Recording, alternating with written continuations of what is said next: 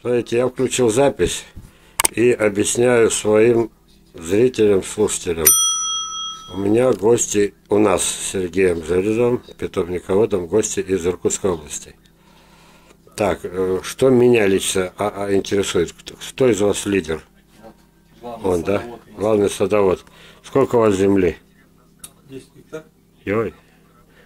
Сколько вы сейчас купили саженцев? 100. 30. 136, да? Мы взяли по 4 штуки каждого. И хотим попробовать один посадить в самом городе, другой в деревне за городом в 13 километров. Там холоднее градуса на 3. И на поле тоже один. И то есть везде посмотреть, то есть насколько, ну, с городом поле будет в 5 градусов разница. Если в городе будет 35, то на поле будет минус 40. Поэтому мы пока ставим опыты. Просто посмотреть, насколько они у нас выдержат. Потому что у нас максимум растет все ну, вот такого. Так, понятно. конечно, Еще раз, пожалуйста, давайте так, раз на серьезный разговор. Я сейчас увидел человека, у которого 10 гектар и большие планы, и мало того, не, не просто ткнул и что будет, то будет, а еще, еще и соображаловка работает. Так вот, э, представьтесь, пожалуйста, Я Дроздов Тимофей. Тимофей, основная профессия. М- Ну, геолог, нефтяник. Ну, у нас все, вот кого не возьми, э, одни инженеры сплошные, все технические профессии. Ну, да, инженер. Вот. Вот так вот. А я всегда гордо говорю, решаем теперь не ботаники, не э, люди. Лет так, 15 проработали мы по профессии. Мы сказали, что, наверное, достаточно. И решили попытаться земле- к земледелию приблизиться.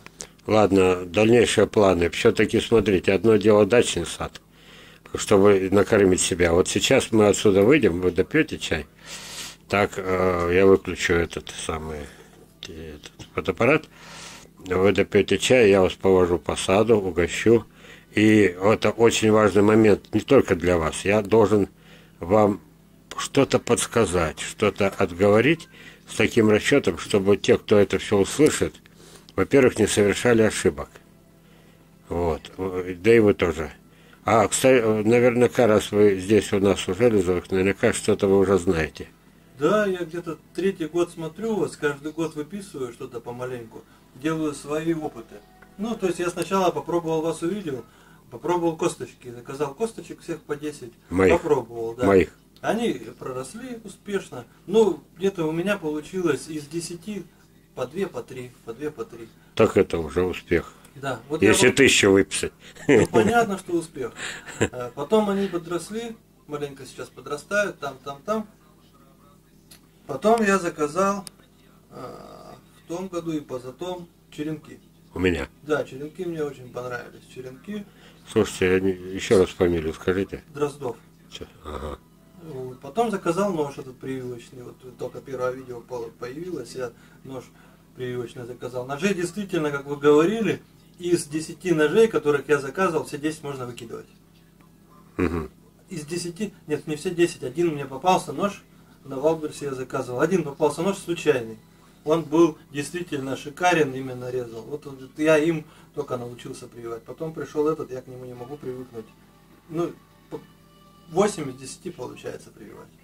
У меня подвоя нету, я прививал на то, на то, на то. А, ну тыкал. тогда придет время, будет 11 из 10. Ну вот я просто тыкал, мне было это все интересно, я туда приткну, сюда приткну, по вашей там, по видео все просмотрел, когда надо, все. И все, ну действительно все сходится, и поэтому следующий вот этап пошел саженцы, чтобы годы быстро убегают.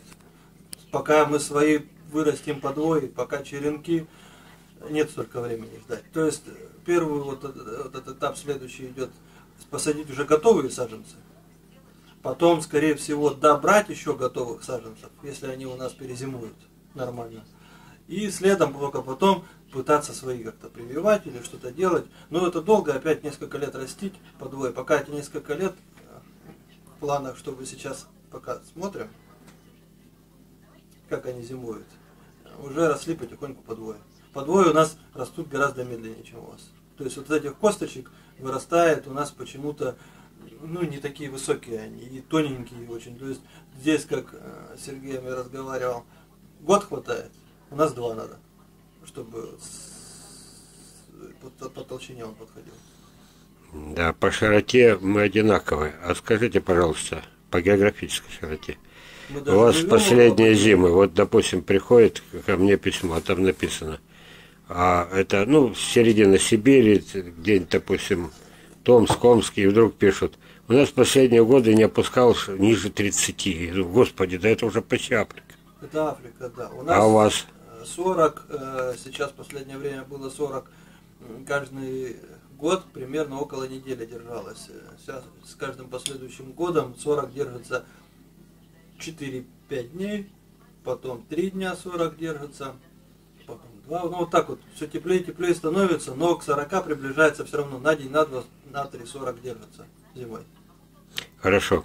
Мне, знаете, что вот я вас не просто слушаю, мне все равно надо хоть что-то подсказать, потому что мой опыт шире Саяногорска, намного шире. Вот. У нас, у, у меня когда было минус 2, в Шушинске было минус 16. Да. Понимаете, а э, рядом же. Вот. А ко мне в Шушинска едут, я же не могу их это обмануть. И вот я, это просто один из сотни примеров. Смотрите, все-таки обычно начинают к- 10 гектаров, они должны приносить какой-то доход, они должны кормить.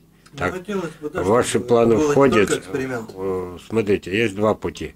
Э, Три.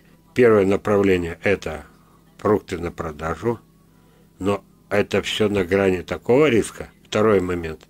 Да, фрукты на продажу, но параллельно и постепенно плодопитомник. Я покажу плодопитомник не так, как там бегом, а пойдем, я все покажу вот сейчас.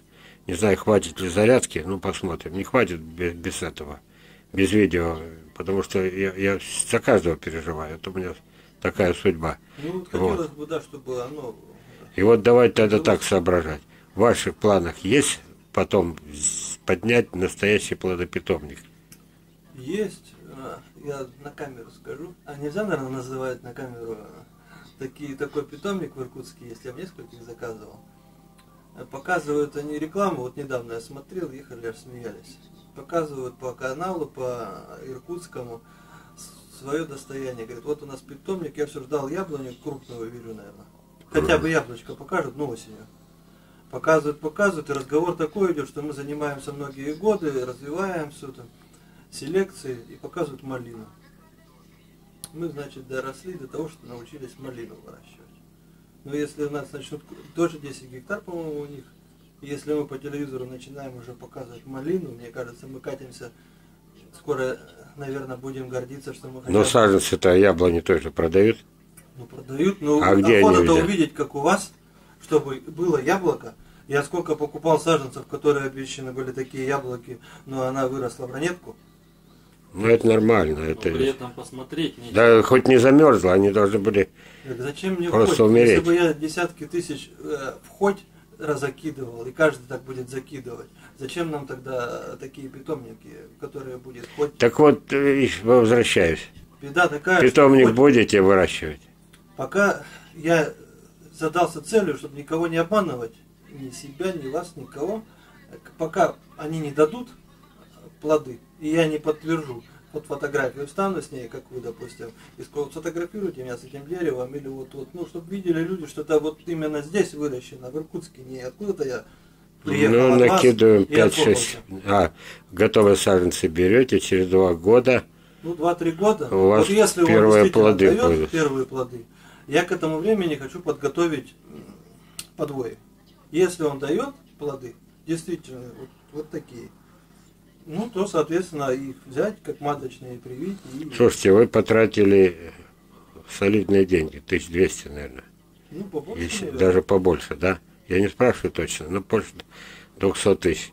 Купите еще у меня косточек хотя бы на 5-10 тысяч, потому что Но по Ну, я двое, каждый год на 2-3 заказываю. Это я заказывал просто для своих опытов, посмотреть. понятно. Вот. Естественно, я буду косточки брать, это, одно- это даже не оговаривается. Косточки я буду однозначно брать, потому что по двое я ни с чего не возьму. У нас нету ни абрикосов, ничего. Я их не возьму, эти косточки. Мне У вас них вообще пустыня. никак.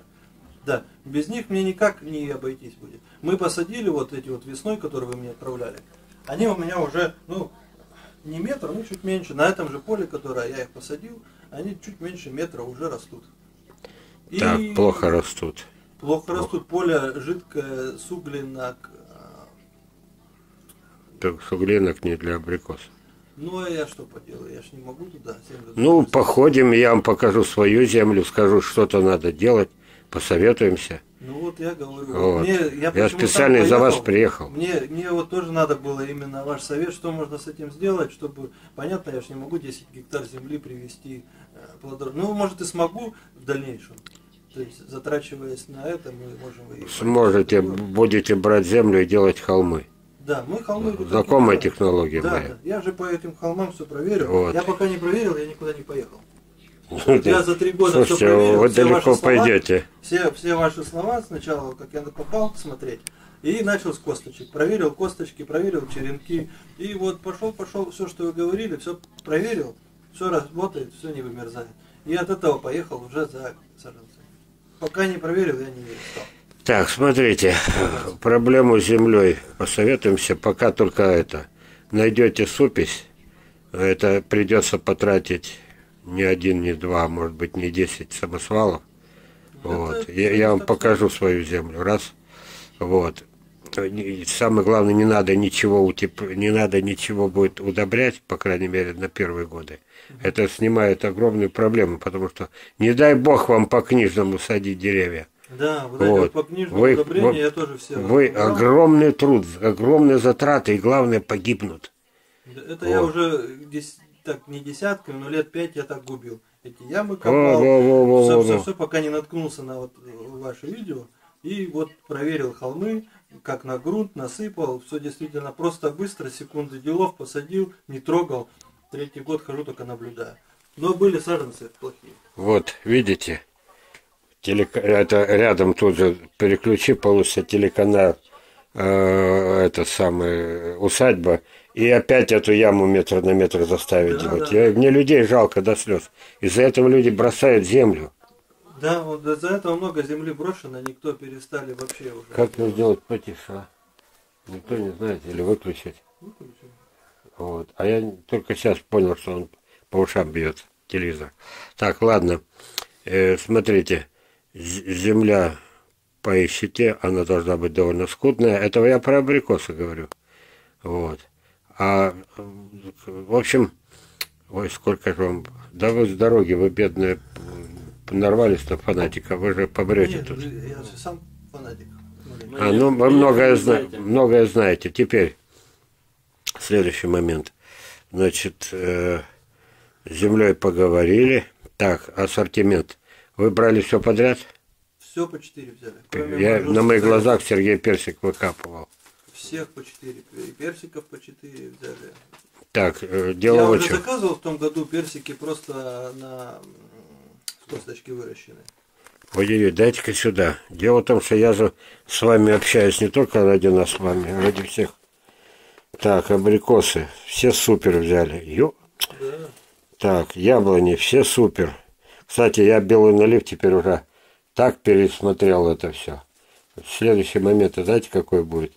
Вы будете выращивать, допустим, промышленный сад, вот, все, с яблонями не связывайтесь больше. Пока не пройдет эпидемия. Ну, не знаю, пока вот. у нас не болеют, я ваши привил. Растет шикарно, прям мощно растет. Могут привезти к вам, к нам привезли. Ну, скорее всего, привезут. Нет, я имею в виду, не садите яблони сотнями. Это, ну, понятно, вот. можно показать. Сейчас проще груши. Я вас буду угощать сладчайшими грушами. Значит, морозостойкость уже достигла яблони. Они всегда были слабее. Но э, уссурийская груша, подумаю, сделала чудеса. Дальше, э, значит, слива. Вот так, ну опять столько супер взяли. А где китайки? А. Китайки у нас же такие же, по-моему, растут. Ой. А, ну если такие же, ладно. Точно такие же, я посмотрел, у нас даже крупнее почему-то. Так, вот, персики, персики взяли. Так, это все вот это закончилось? Да. Или еще там есть? Нет, все это. Ага. Ну, все сорта, которые были. Так, понятно. Я к тому, что надо что-то сделать основной промышленной культурой. Да. Я в данный момент вопрос. считаю груши. Почему? Сливы это такая, казалось бы, вон, э, слева, вот сейчас хотите, пойдите, собирайте. Мы не смогли собрать, допустим, да? Вот, пример такой. А они так быстро портятся, как промышленная культура на грани. А груши не быстро, да? А груши, смотря что, я вот сейчас буду угощать теми, которые все еще на дереве, а вы уже будете писать, э, какие именно. Нарядная Ефимова, а, Московская осенняя, а, память Яковлева. И еще каждую попробуйте. А, заманчиво? Но в продаже же важно тоже действительно их довести, и их же не купят. Довести, да, да, да. Их же купят, допустим, в течение недели двух-трех. Да. И если ты, допустим, она у тебя портится за 2-3 дня, ты же не сможешь Интересно, знаете... Этих, э, тысячу деревьев, а потом, за, э, когда придет сезон, и они все попортятся. Тут, конечно, надо прийти к какой-то культуре, которая будет хотя бы сколько-то храниться и будет годных качеств. Так, и еще что хотел сказать. Раз остановились на грушах. Летние портятся, хотя самые сладкие. Зимние все равно по качеству уступают. Остаются осенние. И вот сейчас вы приехали. Сегодня у нас сентябрь. Значит, какой? Пя пятый, шестой, шестой. Ну, вот, вот сейчас вот на этом зациклимся. Потом это память отложится. Потом вы у меня достаете эти же, если есть или нет, семена, выращиваете грушевые подвои. Потом, дай бог, я буду жив. Это не Сергей, я занимаюсь этим. Потом, сейчас бы было бы куда натыкать, этой же зимой купить у меня эти же черенки. Вот. Потому что годы терять нельзя. Они уже сейчас... Мы боимся годы терять. То есть поэтому и берем готовые саженцы. Годы потерять это очень Теперь так, мы с вами сейчас, дело в том, что вам намекали нет, что им срочно надо в город, Сергей Встани. А, нет, нет, мы чай пьем-то, нам тоже сильно времени нет. Нам Тогда давайте так, э, сейчас мы с вами допивайте. Да, мы допиваем. Вот. Э, на последний момент не забудьте, чтобы я сфотографировал машину со 130 саженцами. Угу. Это надо. Потому что вы думаете, все, все тут же рвутся к нам за саженцами. Так, все, я пока выключаю. Вот, приятного аппетита, ребята, отчаянные ребята.